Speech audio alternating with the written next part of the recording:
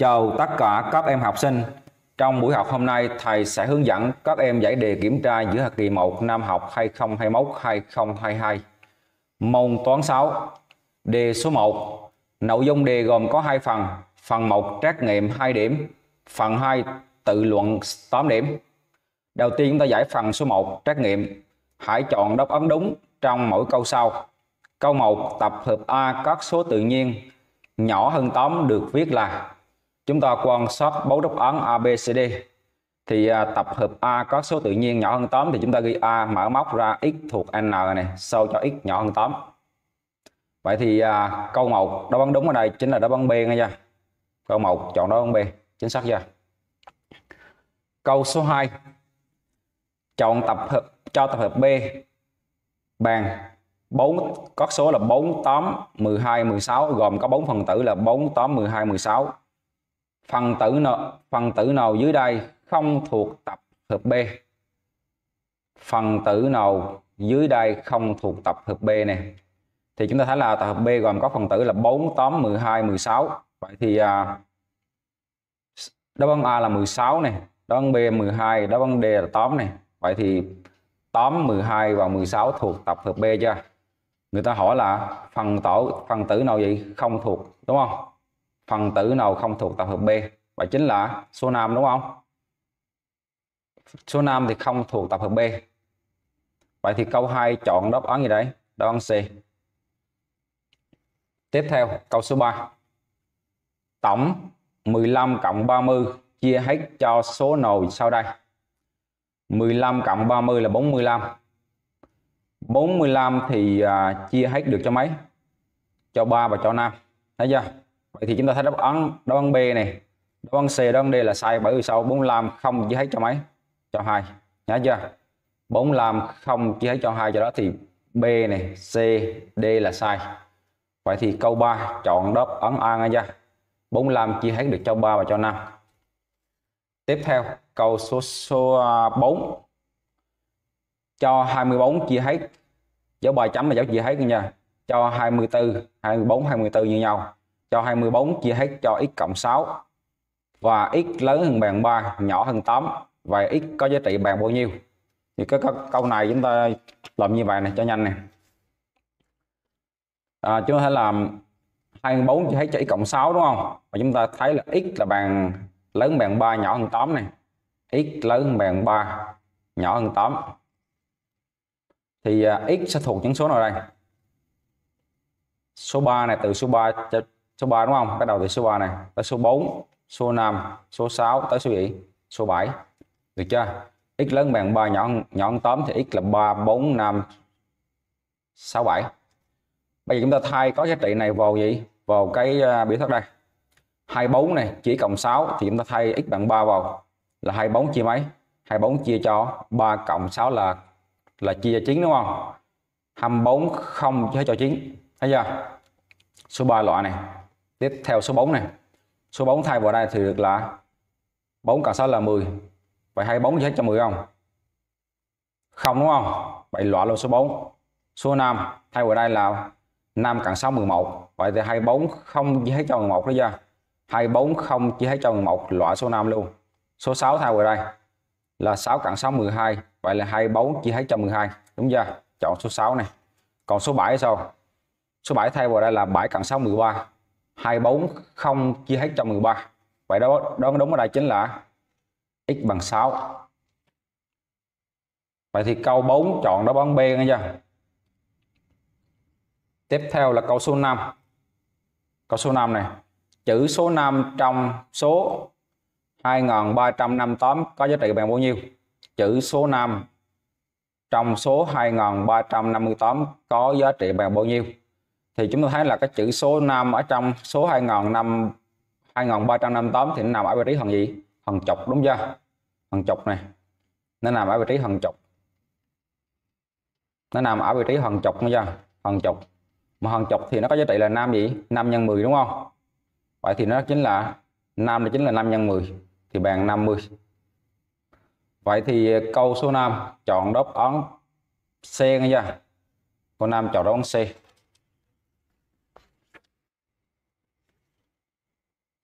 tiếp theo câu số 6 cho hình bình hành ABCD như hình vẽ. Biết AB bằng 3 cm BC bằng 2 cm. Chu vi của hình bình hành ABCD là bao nhiêu? Thì à, cái này chúng ta nhớ công thức nha. Hình bình hành ABCD đây hình bình hành ABCD đây là hình bình hành ABCD này.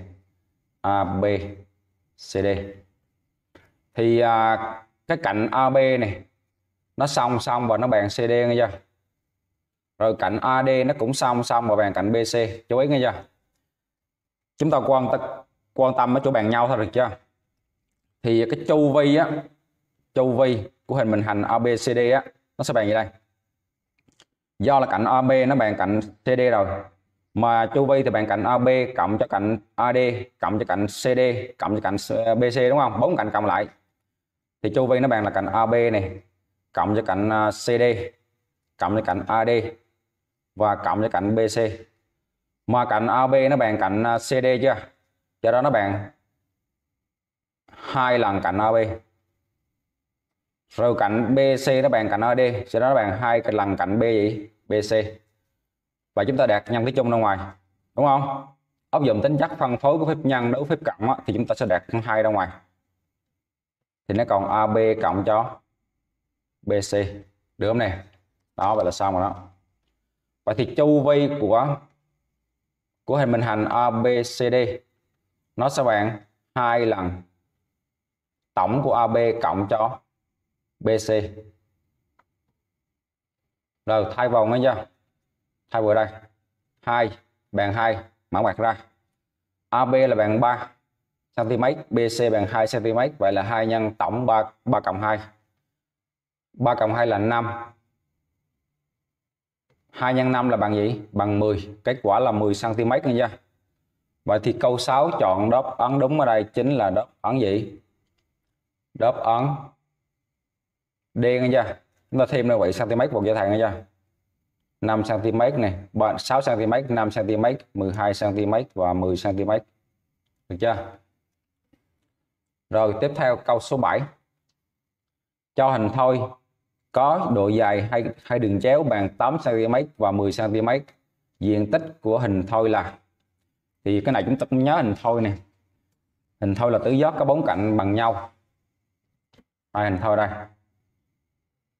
Và hai đường chéo vuông góc với nhau nha. Hình thôi là hai đường chéo vuông góc với nhau, chú ý dùm nha. Bốn cạnh bằng nhau.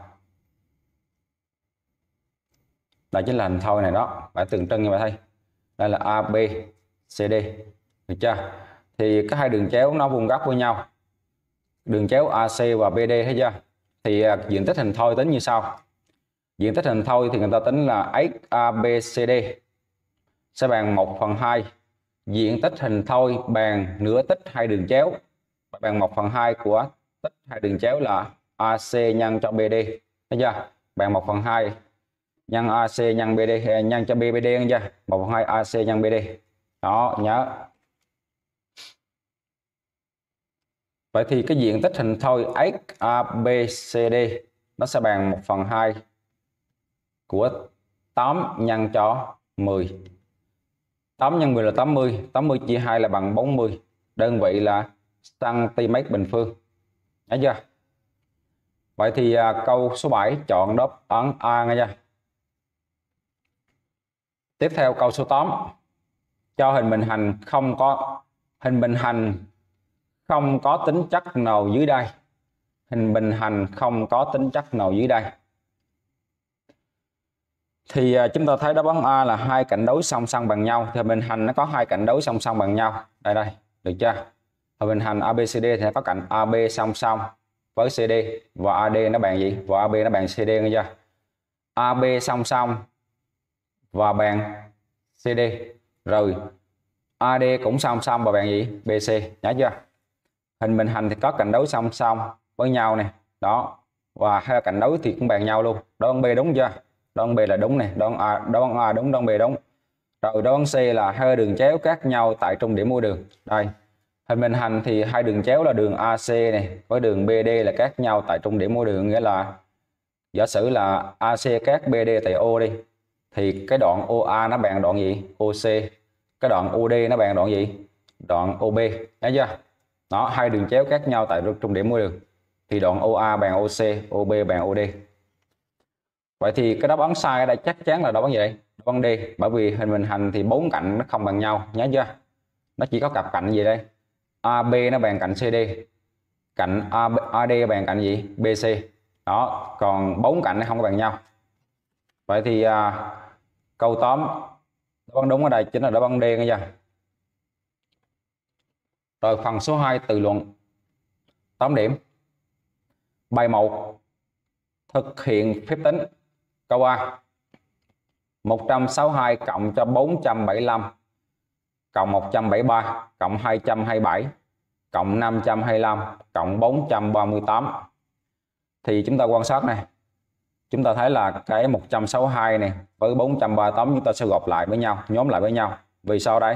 Vì chúng ta thấy là 62 này, cái đuôi 62 cộng cho 38 là bằng 100 thấy chưa? Tròn trăm chưa? Rồi tiếp theo là 475 chúng ta sẽ nhóm với à, 525 bởi vì 75 cộng cho 25 bằng 100 tròn trăm, thấy chưa? Rồi 7 173 với 2 với 227 bởi vì 73 với 27 là 100 thấy chưa? Tròn trăm, thấy chưa? Vậy nó bàn gì đây? Đầu tiên là nhóm lại nghe chưa? Nhóm lại này là 162 chúng ta sẽ nhóm với 438 rồi tiếp theo là gì đây? Tiếp theo là 475 sẽ nhóm với 525 475 này nhóm với 2 525 525 rồi, cuối cùng là, cuối cùng là gì đây? 173 với 227 173 này, cộng cho 227 bàn đây, nó sẽ bàn là 162 cộng 438 thì cái này sẽ là bao nhiêu đây? Được là 600 hay chưa? 62 cộng 38 là 100 này. 1 cộng 4 là 5 với 100 là 600 thấy chưa? 600 600 rồi à, 475 với 525 75 25 100 42 là 6 là thành 700 đúng chưa? 475 cộng cộng cho 475 cộng cho 225 đúng không? Là bằng 700 à, cái đây 225 nha 225 à, cái đây là 525 phải không? 525 525 đúng không 525 cộng lại nghe chưa? 475 này cộng cho 525 được chưa? 400 cộng 75 cộng 525 cái này cộng 5 cộng 5 là 10 với 0 nhá 1 này 72 là 9 với nhọt 1 là 10 đúng không? 72 là 9 với 1 là 10 viết 0 nhá 1 9 4 à, cộng 5 là 9 với 1 là 10 và bằng bằng 1 ngàn nữa chưa 475 cộng 525 là 1 ngàn cộng 1 ngàn rồi 173 với 227 là bao nhiêu? Là bằng uh, 27 với 3 100, 1 cộng 3 là 1 cộng 2 là 3, 400 nha? Cộng 400. Được chưa? 162 438 là 600 này, 475 với 525 là 1000. 173 với 227 là bằng 400. Đúng chưa? Đó, chúng ta thì cộng là như vậy. Đó. Tại sai thì cộng nha. 173 với 227 này 37 là là 10 viết 0 nhá 1 729 10 viết 0 nhá 1 chưa? Vậy là 400 rồi cộng này nè. 600 cộng 400 là 1 1 ngàn cộng 1 ngàn là bằng 2 ngàn nha. Kết quả là bằng 2 ngàn đó rồi câu B là 25 nhân 6 cộng cho 5 nhân 5 nhân 29 cộng cho trừ cho 45 nhân 5 25 nhân 6 cộng cho 5 nhân 5 nhân 29 trừ 45 nhân 5 thì à, câu B thì mình làm làm như sau này chúng ta thấy là cái này là cái này có 25 đúng không 25 nhân 6 cái này có 5 nhân 5 cũng là 25 nhân nhân 29 đúng không vậy cái này 45 á 45 là bao nhiêu 45 là 5 nhân 9 và chúng ta lấy số 5 ra nhân với 5 là 25 và là trừ cho 25 nhân 9 và cái này bằng gì đây. Nó sẽ bằng 25 này. Nhân cho 6 cái này 5 nhân 5 là 25 thì ghi là 25 nhân cho 29 còn cái này là 45 là 5 nhân 9 trừ nhân cho cho 5 cái này làm làm thêm nha làm thêm tí nữa nè. Là bằng 25 nhân cho 6 cộng cho 25 nhân cho 29 cái này là 5 nhân 5 là 25 nha. Vậy trừ cho 25 nhân cho cho 9 nha. 25 nhân 9 bằng đây. Cái này 25 nhân 6 cái này là cộng 25 nhân 29 cộng trừ cho 25 nhân 9 và chúng ta đạt 25 ra ngoài. Ở trong còn gì đây? Còn 6 này. 6 cộng cho 29 đúng chưa? 6 cộng 29 trừ cho trừ cho gì? Cho 9 đúng không? Chúng ta nhớ công thức này nhớ công thức bây giờ đây. AB A nhân B này cộng cho A nhân C thì bằng gì A, nhân cho tổng B cộng C. Thấy chưa? Và chúng ta nhớ nếu mà có AB cộng AC mà trừ cho trừ cho D DA đi. Đó DA thấy chưa? Thì chúng ta thấy là từ cho AE AE thấy chưa? Trừ cho AE thì có là A sẽ bằng A này, nhân cho tổng gì đấy? Nhân cho bên trong này là gì? Là B cộng cộng C đúng không? Trừ cho gì? Trừ cho A thấy chưa? AB cộng AC trừ A thì bằng A nhân cho B cộng C trừ A được chưa? Và cái này chúng ta lấy là 29 mà trừ 9 còn 20 20 cộng 6 là 26 vậy nó bằng là 25 nhân cho 26 rồi tính ngay chưa? 25 nhân cho 26 6 năm 30 viết 0 nhớ 3 6 nhân 2 13 với 2 12 với um, với 3 là 15 2 nhân 5 là 10 viết 0 nhớ 1 2 nhân 2 nhân 2 là 4 1 là 5 0 5 kết quả là 650 nghe chưa? Bằng 650 tiếp theo là câu C.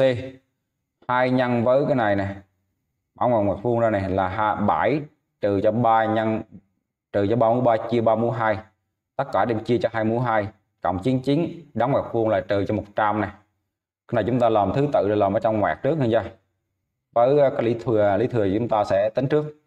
Bàn như đây. Bàn 2 nè. 2 nghe chưa bàn 2 rồi cái này chúng ta sẽ à, thấy là cái này 3 mũ 3 chia 3 mũ 2 bằng gì đây? Bàn 3 đúng chưa chúng ta ghi là mã ngoặc ra nghe chưa? Cái này mã ngoặc vuông này cái này là mã ngoặc ra, nghe chưa?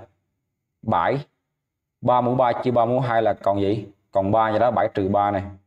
7 trừ 3 7 trừ 3 đem chia cho. Hai bình bằng 4 chưa? Ghi số 4 hai bình bằng 4 đem cộng cho gì? 99 sau đó trừ cho 100 thì bạn như đây. Tiếp tục chúng ta làm này. Cái này chúng ta làm tiếp này. Cái này là 7 trừ 3 mấy? 7 trừ 3 bằng 4 và chúng ta ghi bàn 2 này. Mã hoặc đơn ra mã hoặc đơn ra. Để dấu nhân ra 7 trừ 3 bằng mấy? Bằng 4 4 chia cho mấy? 4 chia cho 4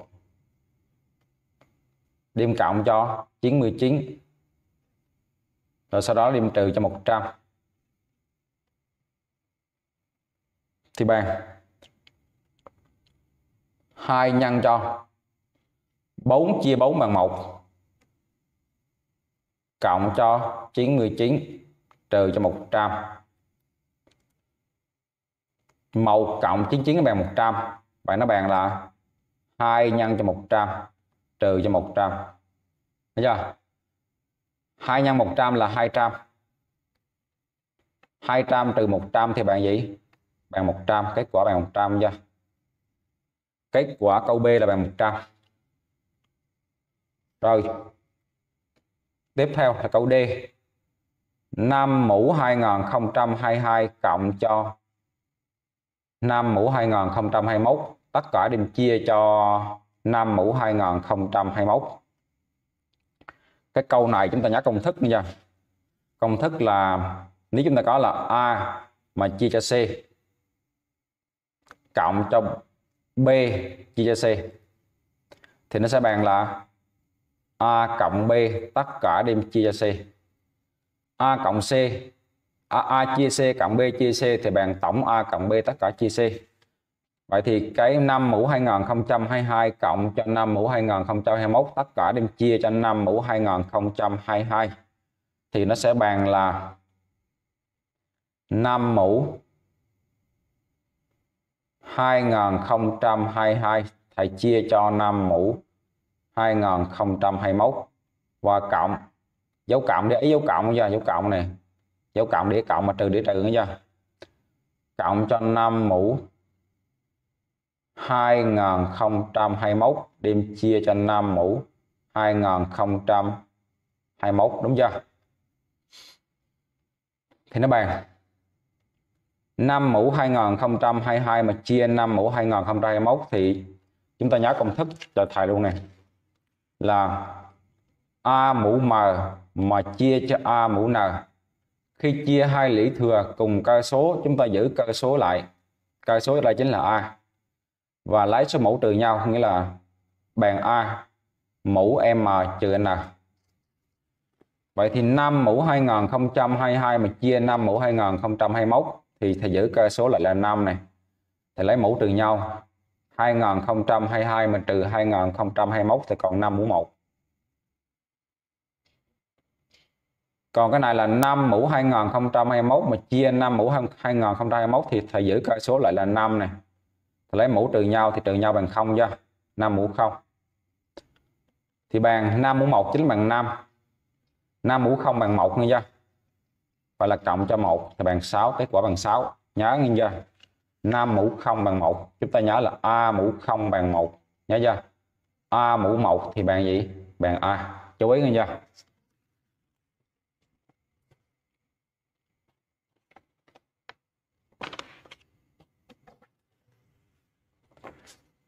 Tiếp theo, chúng ta giải bài số 2 Bài số 2 Tìm số tự nhiên x biết. Câu A 41 trừ cho, Tất cả đem trừ cho 2x trừ 5 bằng 18 41 trừ cho 2x trừ 5 bằng 18 Thì 2x trừ 5 sẽ bằng 41 trừ cho 18 2x nè, Sẽ bằng 41 trừ cho 18 41 trừ 18 anh chưa? Vậy tiếp theo làm tiếp là 2x sẽ bằng gì đây? 41 trừ 18 bằng bao nhiêu? Bằng 33 41 trừ 18 là bằng à, à bằng 33 đúng rồi. 41 trừ 18 trừ 8 trừ 18 đúng không? Bằng 23 23 cái này có phần rồi.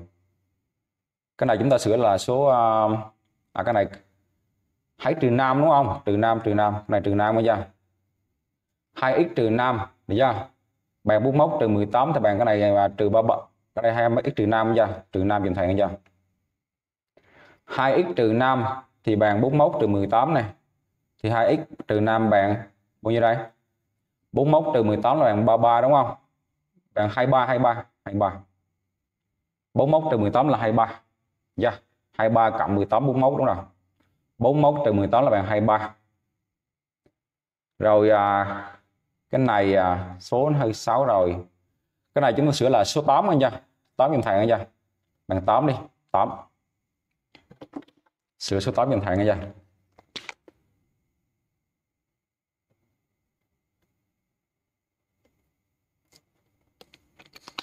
Rồi cái này là 2x trừ cho 5 này, bằng à, 23 này bằng um, trừ 8 anh nha trừ 8 là bằng 33 nha 33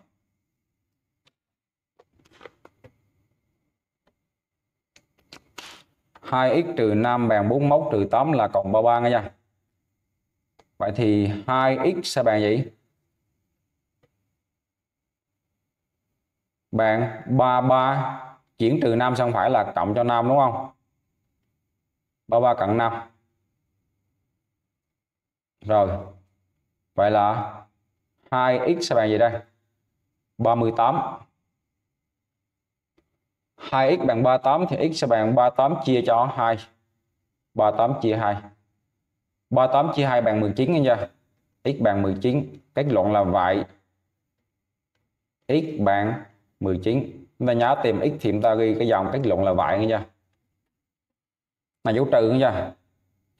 Thì nói lại này 41 trừ cho 2x trừ 5 bằng 8 thì x 2x trừ 5 sẽ bằng 41 trừ 8 41 trừ 8 bằng 33 do đó 2x trừ 5 bằng 33 2x sẽ bằng 33 cộng cho 5 chuyển trừ 5 sau bên phải là thành dấu cộng. Chuyển vé đấu dấu nữa chưa? Vậy 2x bằng 38 x sẽ bằng 38 chia 2 bằng 19 câu B. Câu B là 2 mũ x 2 mũ x nhân 4 bằng 128 vậy thì thầy ghi là 2x sẽ bằng 20x sẽ bằng 128 chia mấy? Chia cho 4 128 chia 4 bằng bao nhiêu? 128 chia 4 Thầy tính này.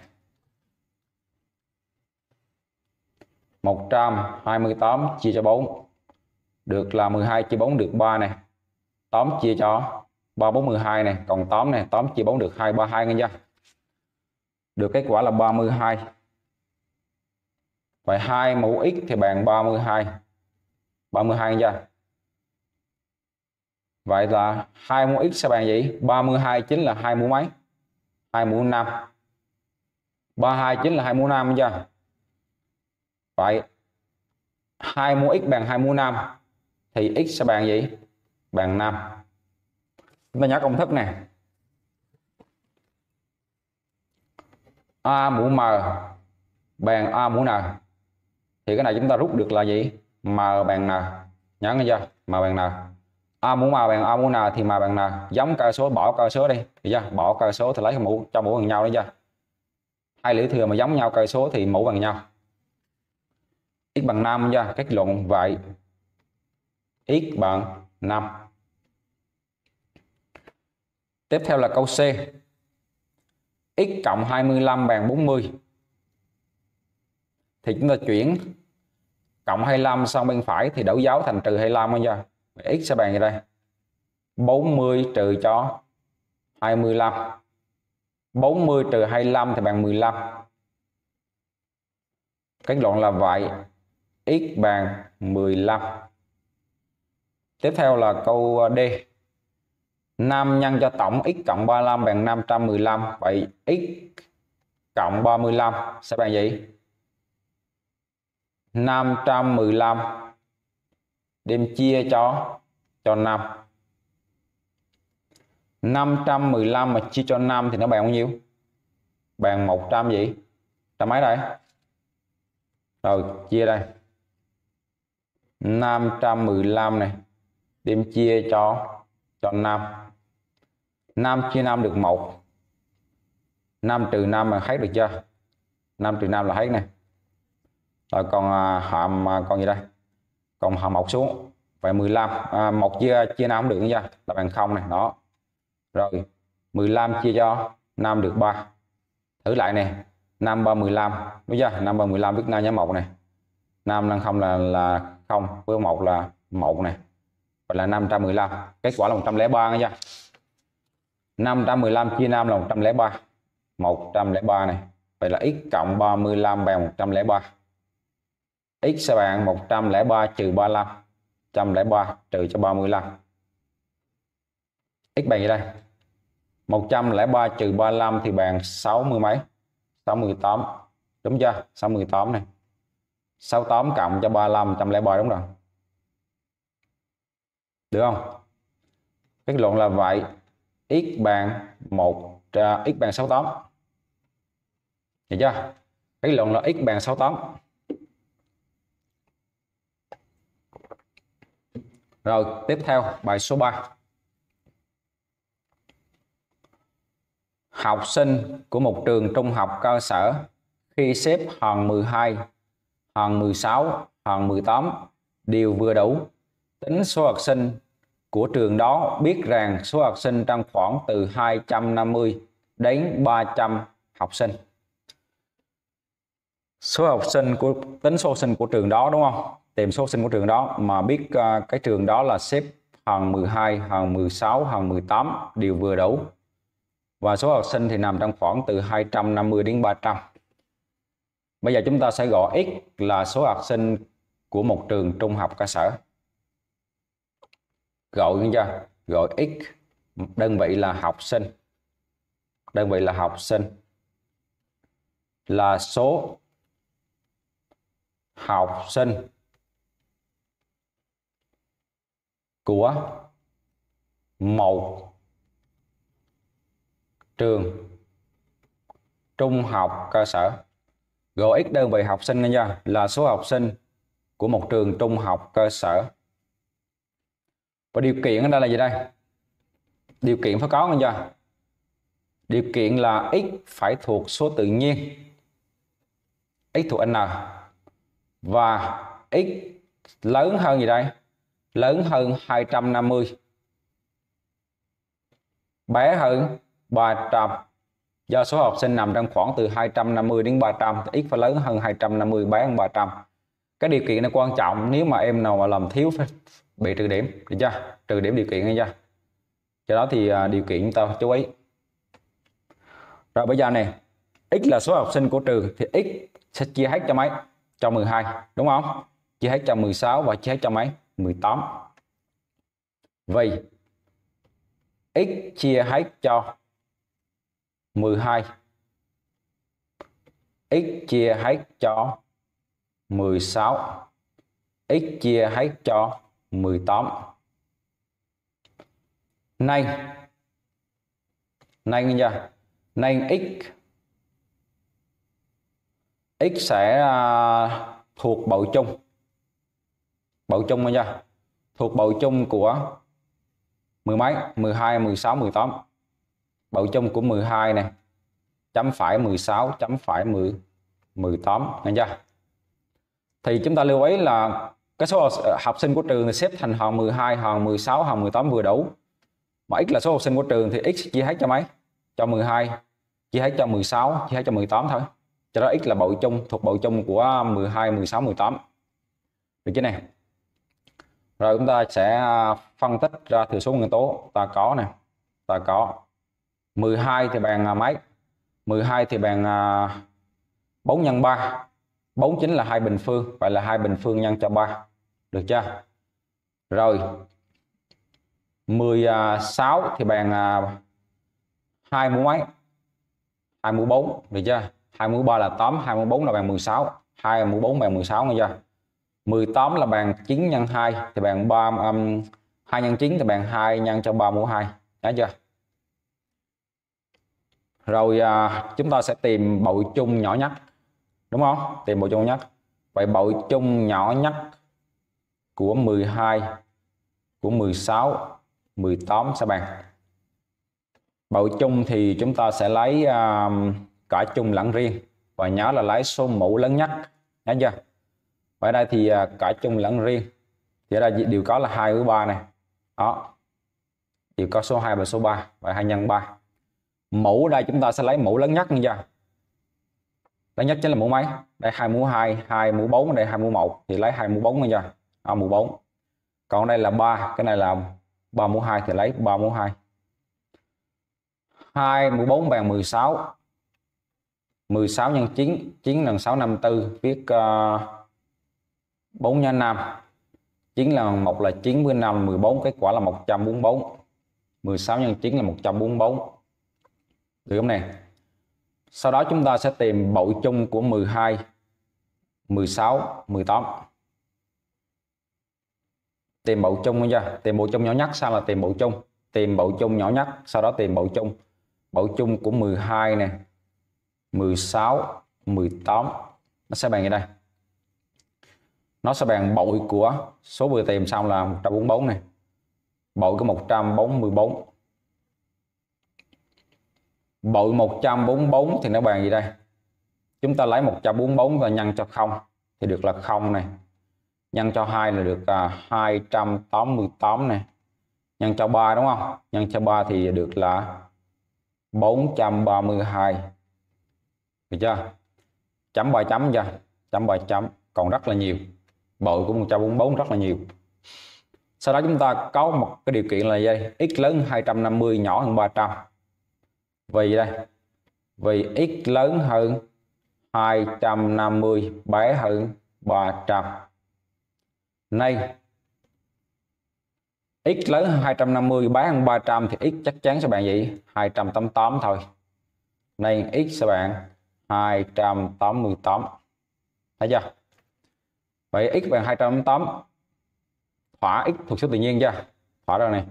Và kết luận thôi vậy số học sinh của trường trung học cơ sở đó là 288 học sinh. Đơn giản chưa vậy số học sinh của trường. Vậy số học sinh của trường trung học cơ sở đó là là gì đây? 288 học sinh.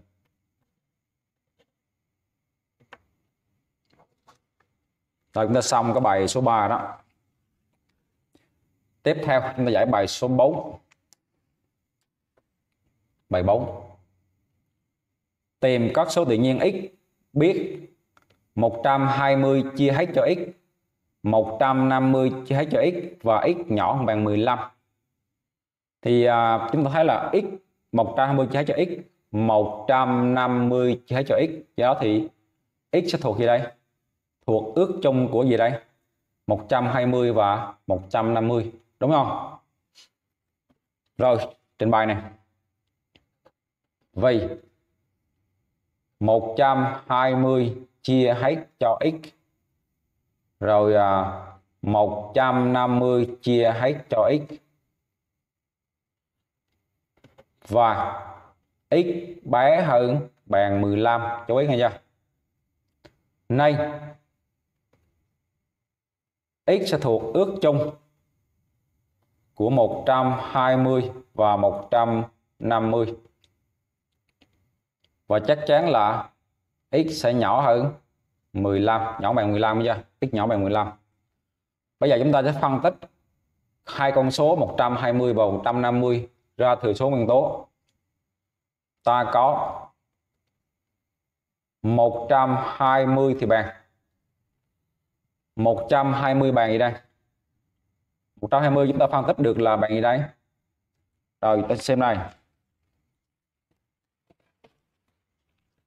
120 này 120 thầy sẽ phân tích ra bằng cách chúng ta thầy lấy 120 chia cho 2 120 chia 2 là bằng 60 60 chia 2 là bằng 30 30 chia 2 bằng 15 15 đem chia hết cho 3 đúng không? Chia cho 3 thì bằng 5 5 chia cho 5 được 1 được chưa? Và nó bằng gì đây? 2 mũ 3 nhân 3 nhân 5 120 là bằng 2 mũ 3 này. Nhân 3 nhân cho 5 lưu ý là chúng ta không được xài máy tính nha 150 là bằng gì đây? Thầy lấy 150 thầy chia cho 2 này, là được 75 75 chia được cho 3 đúng không? Cho 3 thì bằng 25 25 chia 5 được 5 5 chia 5 được 1 vậy bằng là 2 nhân cho 3 nhân cho 5 mũ 2 150 là bằng 2 nhân cho 3 này. Đem nhân cho 5 mũ 2 đúng chưa? Bây giờ thầy sẽ tìm ước chung lớn nhất của nó, đúng chưa? Tìm ước chung lớn nhất. Ước chung lớn nhất của 120 và 150 được chưa? Tìm ước chung, cái bài toán này là tìm ước chung thông qua ước chung lớn nhất. Đúng chưa? Đó các em đã học rồi. Ước chung lớn nhất của 120 và 150 thì ước chung là chúng ta phải lấy cái chung. Nhớ chưa? Ước chung thì lấy chung. Lấy chung và nhớ số mũ là nhỏ nhất. À, chung ở đây chính là mấy? Chung ở đây chính là 235 luôn. 120 cũng có số 2 nhân số 3 số 5 150 cũng là 2 nhân 3 nhân 5 và chúng ta ghi là ước chung sẽ là 2 này. Nhân 3 nhân 5 rồi điểm số mũ nữa nha. Cái này 2 mũ 3 cái này 2 thì lấy 2 mũ 1 được chưa? Lấy hai thôi. Cái này 33 đúng rồi. Lấy số 3 cái này 5 5 cái này 5 mũ 2 thì lấy 5 thôi. Nhớ lấy mũ nhỏ nhất chưa nhớ là lấy số mũ nhỏ nhất vậy là 2 nhân 3 nhân 5 là bạn bao nhiêu? 30 được chưa? Sau đó thì chúng ta sẽ tìm ước chung của um,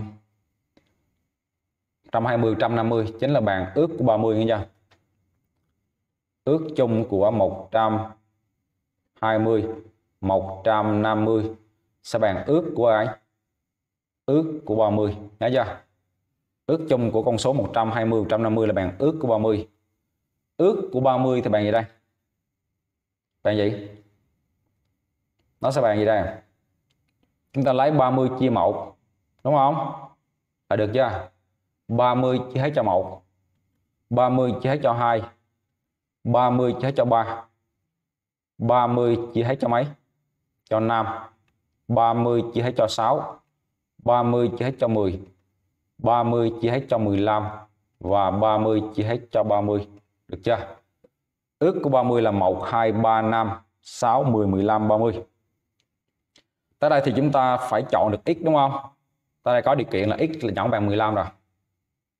Vì x nhỏ hơn bằng 15 thấy chưa? Nay, x thuộc gì đây? X thuộc gì đây? 1 2 3 5 6 10 15 nhỏ hơn nhỏ hơn bằng 15 là lấy luôn 15 nha. X nhỏ hơn bằng 15 lấy luôn 15 chú ý nghe chưa x thuộc gì đây? Tập hợp các số là 1 2 3 này. 5 6 10 và 15 đó, thấy chưa?